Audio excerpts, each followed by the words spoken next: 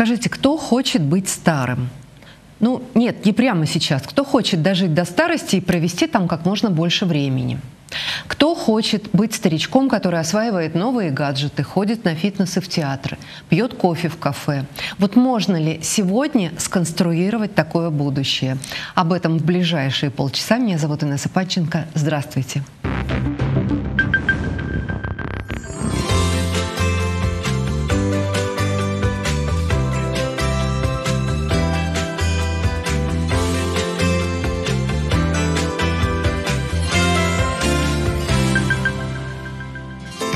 Выходит при поддержке Министерства здравоохранения Самарской области, Самарской областной ассоциации врачей и информационной поддержки журнала «Личный врач». Итак, это программа «Звоните доктору». Я вас знакомлю с нашей гостьей, дежурный врач нашей скорой телевизионной помощи а, Мария Дмитриева, главный врач Самарской областной клинической гериатрической больницы, а, главный внештатный гериатр по городу Самаре, кандидат медицинских наук. Добрый вечер. Здравствуйте, Инесса. Мы работаем в прямом эфире. К нам в студию можно позвонить 202 11 22. И напоминаю, что сегодня мы конструируем себе прекрасную активную старость. Ну, сначала все-таки давайте разберемся с понятиями. Когда я произнесла гериатрическая больница, думаю, что не все поняли, потому что слова гериатрия и геронтология ну, вызывают некую путаницу. Изучаем матчасть. Да, Инесса, спасибо большое. А, итак, что же, что же такое геронтология? Геронтология – это наука, а, который изучает биологические, социальные и психологические аспекты старения и, соответственно, способы борьбы с ними. И если биологические аспекты, это, собственно говоря, все понятно, это физиологические старения наших органов и тканей, а вот социально-психологические, как правило, самым значимым из них это является потеря социальной значимости. Это тот, ну, скажем, рубеж времени, когда человек а, уходят с работы на пенсию. А вот гериатрия – это уже область клинической медицины, которая изучает болезни а, старого и пожилого возраста и, соответственно, методы лечения, диагностики и профилактики. И вот, в частности, своей задачей, одной, одной из своих задач мы а, ставим а, каким образом информировать человека, да, который потерял свою социальную значимость, утра, уменьшил, вот так вот, уменьшил свою социальную значимость, что же он может сделать вот в этот а, период времени. И я не побоюсь сказать, что в золотой период времени, да, когда уже у человека чуть меньше социальных проблем, вернее, бытовых проблем, потому что дети уже выросли, появились Чуть внуки. меньше ответственности. Да, меньше ответственности, да, появляется масса свободного mm-hmm. времени, и а, чем же ее занять? То есть это вообще-то увлекательный достаточно процесс, и мы стараемся вот, ну, на такой позитивной ноте именно разговаривать с нашими пациентами, с нашими слушателями, чтобы им было а, удобно и понятно, чем заниматься. Из всего, что вы сказали, я делаю вывод, что ваша специальность не чисто медицинская, а скорее медико-социальная, наверное, уже получается.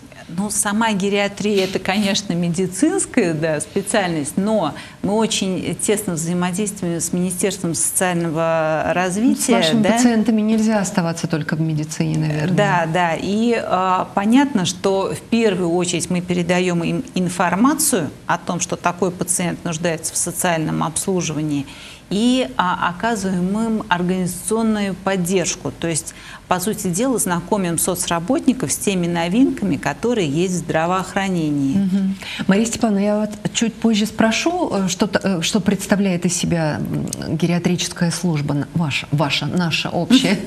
Вот. А, но сначала хотелось бы понять, а нужна ли она нам. То есть о чем я говорю? Как много у нас пожилых людей, как много ваших потенциальных и настоящих пациентов? Ну, то, что касается Самарской области, ну вот если э, цифры, да, то у нас э, в области примерно э, 3 миллиона 150 э, да, тысяч человек, жители, да. да? Из них, из них 25,2% составляют люди 60 плюс. А из этого уже количества а 46% составляют люди 70 плюс. То есть то, что касается нашей области, у нас увеличивается глубина старения. Ну, я думаю, что это хорошо. То есть у нас вот больше вот. людей, которые доживают до преклонного, угу. до серебряного возраста, а, до а, количества долгожителей у нас увеличивается, к сожалению, вот сейчас вот не располагаю цифрами, но их достаточное количество, и мы, собственно говоря, гордимся ими гордимся, что мы э, увеличиваем количество долгожителей. Ну, я да, читала статистику, что э, за последние буквально, наверное, 50 лет э, продолжительность жизни увеличилась чуть ли не в два раза. То есть ну, действительно... Президент поставил задачу перед медиками. Жить долго. Жить долго, да, жить счастливо и качественно. Ну и, собственно говоря, здесь мы боремся тоже за цифру 74 года. Мы эту цифру получили, мы ее добились до конца да, 23 -го года. К нам вот уже дозвонился кто-то из телезрителей. Давайте послушаем. Алло, здравствуйте. Здравствуйте. А, я по поводу звоню по поводу того, что а, побывал в зоне боевых действий. Угу вернулся с заболеванием на данном этапе. Я никому попасть не А сколько вам лет, скажите, пожалуйста? 57. 57. Давайте, а зовут вас? Александр. Александр, давайте поступим следующим образом. Вы, пожалуйста, сейчас э, нашему оператору оставьте свой номер телефона. Мы с вами обязательно свяжемся и э, чем можем помочь, кому-то переадресуем, если что, да? Ну, я хочу Мария сказать, что а, гериатрическая больница это не значит, что мы занимаемся только пожилыми людьми. Мы 6 дней в неделю дежурим по терапии. То есть к нам поступают а люди от 18 лет, ну и, соответственно, 57 это тоже может быть наш возраст. Угу. Естественно, мы поможем этому человеку и сориентируем его. Александр, если не удалось, если звонок ушел, вы, пожалуйста, еще раз наберите и скажите нашему оператору, что вы должны оставить свой номер телефона. Мы свяжемся с вами непременно. А, итак, наверное, все-таки вот сейчас э, стоит представить, э, что, какая такая вот из себя наша гериатрическая служба, что она из себя представляет. Да, гериатрическая служба Самарской области, она представлена тремя уровнями. Первый уровень, это самый базовый уровень, это 41 гериатрический кабинет, амбулаторный гериатрический кабинет, которые расположены в а, различных районах, как нашего города, Тольятти и, собственно говоря, а, районов области. А, поставлена задача в 2024 году увеличить их, ну, как бы немножечко, да, до 40, э, порядка 43, да, вот так вот назовем. Mm. Я думаю, что тоже мы справимся. То есть это говорит о том, что амбулаторное звено, амбулаторное звено будет обеспечено гериаторами, и в каждом районе, по сути дела, в каждом районе появится свой врач-гериатор. А второй, второй пласт – это так называемые гериатрические койки. А, ну, для нас, для медиков, это просто такое понятие. На самом деле, значит, э, э, в нашей больнице расположено максимальное количество гериатрических коек – 110. А в этом году открылись 20 коек в Сызранской центральной городской районной больнице. И, соответственно, а, порядка 60 коек – это в госпитале ветеранов войн. А, это второй уровень, то есть э, там работают врачи-гериаторы и оказывают помощь именно по гериатрическому профилю. И третий уровень – это гериатрический центр. Сам гериатрический центр, он представляет собой такую функциональную единицу, которая оказывает организационно-методическую помощь как всем врачам-гериаторам области, так и вот о том, что я говорила в начале, а, обеспечивает взаимодействие а, с социальными службами. То есть мы а, и консультируем соцработников, и посылаем им, так сказать, новинки медицины. Угу. Ну и, собственно говоря, обеспечиваем вот эту вот То есть не держите связь. все в секрете у связь, себя. да. А, ну и буду, наверное, потом говорить о о том, как мы расширяем это наш гериатрический и центр. И мы его еще и покажем, я сразу уже анонсирую, что будет сюжет в программе. Ну а сейчас э, все-таки вот о чем. Мы последний раз с вами в этой студии встречались что-то около двух полтора, лет. Э, полтора, да, да, два года уже, назад. Давно. И я очень надеюсь, что новостей в вашей области за это время поднакопилось. Но, может быть, стоит нам разделить вот какие-то очень важные новости, которые в целом по стране у нас произошли, вот, насколько повернулось здравоохранение в сторону пожилых людей, появились ли какие-то новинки, которые помогут поддерживать именно активное долголетие? Да, Потом нас... уже поговорим про вас. Да, да. Я, э, ну, действительно, новинки можно разделить на, на две большие категории. Первые это даже не новинки, это новшества, это какие-то стратегические цели, да, которые... легкомысленно, конечно, да, звучит. Да, да, вот это вот все же новшества, цели, задачи, векторы развития. И э, хотелось бы сказать, что в 2023 году, в июне месяце, состоялась коллегия Министерства здравоохранения Российской Федерации, которая была посвящена гериатрии. И она называлась не просто «Совершенствование качества оказания гериатрической помощи лицам да, старшего пожилого возраста», а еще э, появилась добавка технологии здорового долголетия. Вот очень интересная а, да, тема. И что же вот э, тоже технологии это такое всеобъемлющее, ну многогранное вот так вот слово. То есть здесь и внедрение новых клинических рекомендаций, и совершенствование диспансеризации профилактических медицинских осмотров, и э, формирование новых, э, так сказать, комплексных групп, да, э, как мы, бригад так называемых, которые э, приходят к пожилому человеку, оценивают его со всех сторон, да, и какую помощь можно оказать, состояние его здоровья, и социальные какие-то проблемы, может быть, бытовые его решить.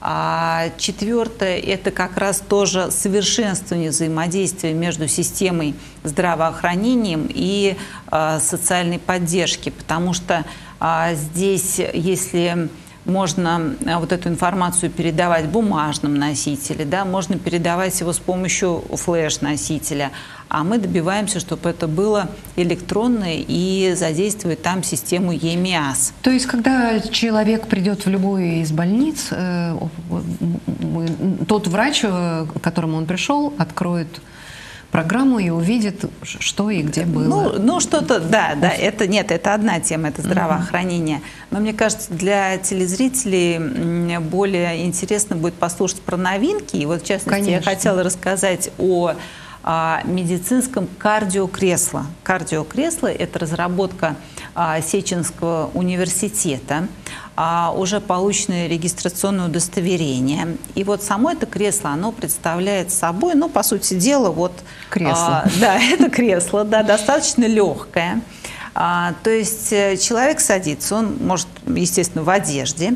Что он должен? Он берется за поручни, а, и в течение минуты, ну, желательно в этот момент не разговаривать и быть в спокойном таком состоянии, то есть чтобы дыхание было ровное, а он значит, находится в этом кресле, держится за поручни, и в этот момент у него происходит снятие ЭКГ. То есть и через какое-то время, естественно, выдается mm-hmm. на экран результат. То есть сейчас вот из э, серьезных векторов, да, вот как я говорила, развития и это дистанционные скрининговые методы обследования. И это, кстати, очень важно. Да. Для чего это кресло? Его как бы испытывали и ставили в аэропорту, в э, больших таких торговых центрах и в МФЦ, где то есть большое скопление угу. людей. А для чего оно нужно, для чего, так сказать, можно его использовать? Ну, опять же, а те люди, а, кто-то, вернее, вот скажем, молодой возраст, может просто проверить у себя ЭКГ, да? но, по сути дела, а, если речь идет о том, что у нас э, заболеваемость болезни сердечно-сосудистой системы возрастает, то очень многие люди, да, перенесшие инфаркты, перенес, имеющие так сказать, кардиозаболевания, они уже знают, как важно снять ЭКГ, да, как важно получить его расшифровку, А, и очень важно, их, им бы хотелось проконсультироваться дистанционно с врачом, а здесь они как раз получают такую возможность. Конечно, там а, возможно, через госуслуги или через какой-то другой портал, возможно, передача этого а, заключения, да, да, А, как, собственно говоря, самого ЭКГ, так и заключение ЭКГ своему лечащему врачу. И дальше врач уже решает, что все нормально, да, тоже это очень хороший результат и даже самый лучший результат, да, который может получить пациент – а, либо э, приглашает его или информирует его о том, что он должен в плановом порядке обратиться к своему лечащему mm-hmm. врачу или к своему кардиологу, да, если он, так сказать, на связи. А, либо это вызов неотложки, да, это как бы тоже очень важно. То есть вот такое вот кресло создано и я думаю, что это не единственное э, из новых технологий, которые появляются в области профилактики активного долголетия, скажем так. И, честно говоря, хотелось еще поговорить с вами и о конгрессе, который прошел по гериатрии. Но наверное, все-таки нашим зрителям интереснее э, вот то, то, что здесь происходит в Самаре, тем более времени у нас с вами не так много. Давайте мы поговорим про вашу больницу. И прежде чем про нее поговорить, э, маленький сюжет. Вот наш корреспондент побывал на экскурсии. Давайте сначала посмотрим, а затем вернемся в студию.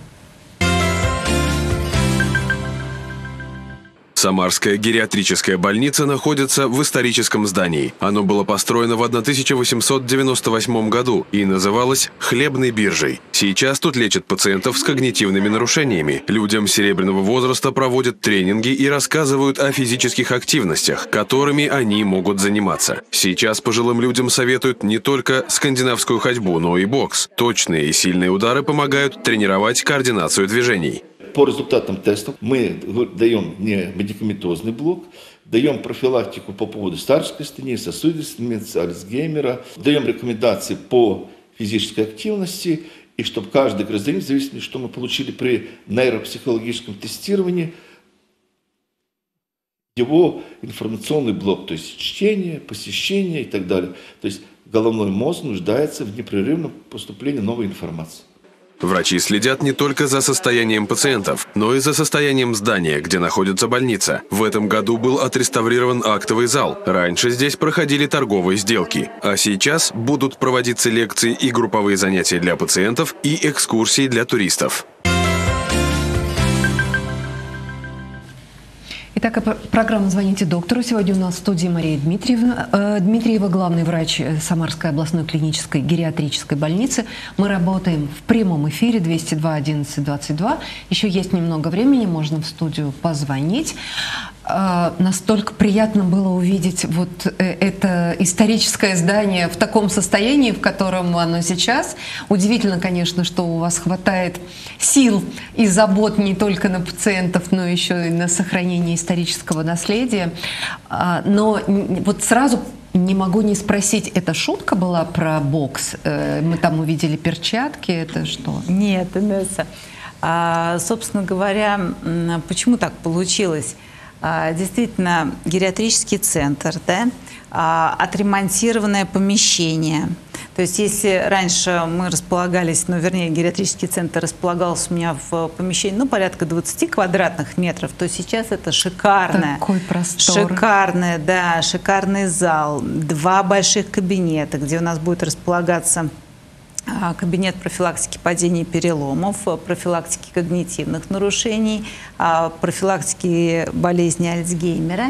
И вот в этом зале, если честно, сегодня туда привезли стулья, шикарные стулья бежевые, а, мы планируем проводить два вида а, так сказать, занятий. Первое – это тренинги, которые рассчитаны ну, на группу 30-50 человек. Угу. И второй момент ну, – это не лекции. говорите, что бокс. Это лекции. И вот, собственно говоря, буквально вот еще до Нового года появилась такая, ну, как бы мысль, а, рассказать э, людям пожилого возраста, а чем же можно заниматься, какими видами спорта можем заниматься. Да, мы стали изучать эту э, проблему. И тут вот, собственно говоря, в январе, в январе 24 года, вот буквально меньше месяца назад, в Самаре проходил Кубок России по боксу угу. имени двукратного олимпийского чемпиона и нашего земляка Олега Саитова. Саитова да. А, нам посчастливилось побывать на этом зрелище, и это, собственно говоря, это адреналин, это такая красота, а, то есть белый ринг, да, а, бойцы в красной и синей форме. То есть это произвело такое впечатление, собственно говоря, даже на меня. А, и, собственно говоря, я получила в подарок эти перчатки, которые, которые мы вот, увидели да, в сюжете. Да, да. Угу. Я принесла их в кабинет. Думаю, ну невозможно такую красоту как-то не использовать. И поэтому мы стали читать про бокс. И оказалось, что еще в 2018 году в Питере появилась школа, она так и называется, «Бокс для серебряного возраста». Значит, что же это такое? что же это такое? Ну, а, естественно, он, такие школы, они профессиональные, они где-то должны быть в спортивных каких-то учреждениях. Но вот здесь вот появилась наша группа, да, вот как mm-hmm. раз сформировалась новая группа, Думаю, ну надо попробовать протестировать. Вот мы видели в сюжете, что там все шесть женщин пожилого возраста. Думаем, ну ладно, мы им покажем, принесем. И, собственно говоря, наверное, не ошиблись, потому что вот э, там показано, женщин мерили, мерили да. эти перчатки, да. и они говорят, нам 77 лет, и мы первый раз, первый раз в жизни берем в руки эту боксерскую, боксерскую перчатку, перчатку, мы ее меряем. И вот было видно вот прям на их лицах, что это а, ну, не столько адреналин, это такой интерес, и, собственно говоря, мы это и хотим добиться. Ведь чтобы человек а, как бы увеличил свою физическую активность. То есть да, не обязательно за... даже бить друг друга по э, лицу. Бить вообще не надо никого, тем более по лицу. А, и э, здесь мы почувствовали, что мы хотим им показать, даже вот этим женщинам, да, а энергетику спортивного снаряда энергетику вот этой спортивной формы. Тем более, как бы в руках эти перчатки держали чемпионы. Э, то есть прикоснуться, да, вот Петр Иванович тут э, просто не показали в сюжете, он говорил, очень э, здорово приходить, ну, действительно здорово будет приходить вот в нашу Третьяковскую галерею, которая у нас откроется, смотреть а здесь мы можем не только смотреть, да, но и трогать, и, собственно говоря, даже вот эм, совершать какие-то движения. Вот вы уже сказали, что прикосновение к перчаткам – это определенная такая эйфория, это определенные эмоции. А вообще вот люди пожилые, они вне жизни, они вне политики, они вне новостей. Вот это ведь, наверное, страшно. Ну, действительно, самый страшный момент, а, ну, человек замыкается в себе, и это происходит тоже не сразу. Вот, как я и говорила в начале, это, ну, с самого начала это потеря социальной значимости, да, а потом это медленно так сказать, прогрессирует, и человек теряет интерес. То есть это не вот изначально потерян, mm-hmm. а медленно, медленная потеря интереса. И вот, собственно говоря, а новые тенденции, которые ставят перед нами и говорит о которых министр здравоохранения, о том, чтобы как можно а, дольше продлить а, активное долголетие. Да, мы, к сожалению, все понимаем, что когда-то будет э, завершение этого процесса, да, mm-hmm. но все мы хотим, чтобы как можно дольше, дольше – то есть не, не постепенно угасать, не постепенно угасать, да, в течение там 10 лет, да, вот как вы говорите, потери интереса mm-hmm. к жизни, да, вот, э, скажем так, э, проживание такой э, безинициативной серой жизни, это плохо, да. Все же э, люди должны э, как можно дольше жить интересно, да, э, заниматься Тогда спортом, они да, болеть. да, они меньше болеют, да, угасание неизбежно, но, так угу. сказать, как можно, э, так сказать, ну, уменьшить, уменьшить этот промежуток времени угасания. Мария Степановна, ну вот, в общем-то, уже почти заканчивается программа, и э, я бы хотела вернуться к тому, с чего начала. Можно ли сегодня сконструировать активное долголетие и когда вообще стоит задуматься о том, что старость будет? Ну, никому не хочется об этом задумываться. О, к сожалению, новые тоже тенденции говорят о том, что задумываться о старости нужно уже в 45. А, как бы это было неприятно слушать, да, но об этом надо задуматься. Почему? Чтобы уже, уже продумать для себя какую-то подушку безопасности, mm-hmm. да, уже понимать, чем ты будешь заниматься, а, какие у тебя будут интересы а, с кем, где ты будешь проживать, да, то есть об этом же тоже мы думаем, да, Конечно. и как правило, значит, э, кто-то стремится к детям, а кто-то, наоборот, хочет как можно дольше жить в своей квартире, например, не переезжая. Ну вот здесь вот э, мы просто не затрагивали эту тему. Сейчас э, социальные службы и очень много выставок направлены на так называемый умный дом. Да. Умный дом. Да, а, с помощью Алисы, да, которая уже всем известна, или Маруси, да, как там у нас. А, Алиса, закрой шторы включи телевизор, выключи свет. да, выключи угу. свет, да, соответственно, включи машинку. То есть вот а, в 45 лет для нас это понятно, и мы уже можем, как взрослый человек, он понимает, что да, посуду надо мыть, свет надо выключать, газ надо выключать, вот, и уже вот эти вот команды уже простроят для себя тот момент, что если ты будешь находиться один дома, да, вызови скорую помощь, да, то есть вот, ну, такие же моменты а, в 45 лет совершенно спокойно mm-hmm. можно продумать, уже задуматься о них и, соответственно, найти для себя правильное какое-то решение. 45 лет, к сожалению, надо уже начинать задумываться. Ну и, и задуматься еще о том, как вы сказали, чем ты будешь заниматься, да? Да, Потому и чем, что... да. Ну, бокс, бокс прекрасно. Да, вот новая новинка, новинка вы, для нас. Вы прям адепт бокса и после, после этого, после этих соревнований. Ну, такое впечатление на меня произвело, я думаю, что это очень хорошо. Ну, на самом деле, вот э, прикосновение к спорту – это прикосновение к жизни ведь фактически, да? То есть в этом возрасте, когда кажется, что уже все для тебя закончено, а, а на самом деле есть вещи, которые ну вот мотивируют. Мотивируют, да, мотивируют прежде всего. А, ну что ж, понимаю, что невозможно вообще проговорить в одной программе обо всем, о чем вы можете рассказать. У вас огромное количество информации, наработок. Будем встречаться еще. А Спасибо. нашим зрителям желаем конструировать свое будущее и не болеть. Увидимся ровно через неделю. До свидания. До свидания.